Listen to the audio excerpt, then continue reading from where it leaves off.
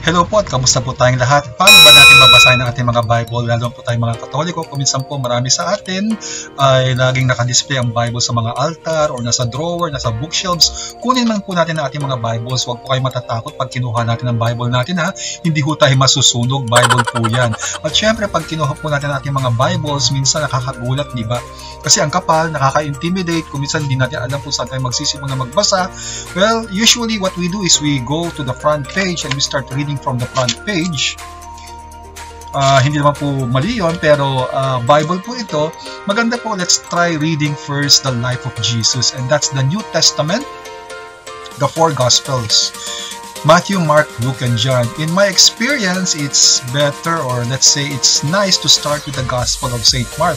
Kasi ito po yung pinakamaikli, 16 chapters and medyo parang simplified ang pag-pronounce or pag-proclaim rather ng Gospel of St. Mark. After reading the Gospel of St. Mark, we can go to St. Luke, then Matthew, then John, and then continue reading the New Testament. Then pagkatapos, you can go to the Old Testament and start reading from Genesis and finish the entire Old Testament or you can read first the Psalms and the Proverbs, then go to Genesis and then finish the entire Old Testament. At syempre, bilang isang Katoliko, maganda po ay meron din po tayong tinatawag na Catechism of the Catholic Church.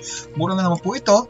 And if you want to go deeper into studies, importante rin po meron tayong tinatawag na Bible Dictionary or Dictionary of the Bible. Bakit po?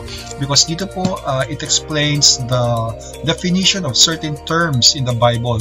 Ngayon kung talagang gusto mo pang lumalim, maganda po ay meron din po tayong tinatawag na Bible commentary. Any commentary will do. Actually, medyo mahal na po ito. Kung may budget po tayo, pwede tayong bumili nito. Of course, bago po tayo magbasa ng Bible, let's pray.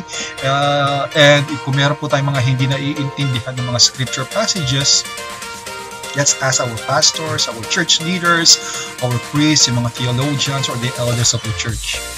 Amen po? Importante, let's try to read the Bible every day and you can do that by downloading also a daily gospel reading application on your cell phones. Basahin po natin araw-araw yan. So God bless po sa atin lahat.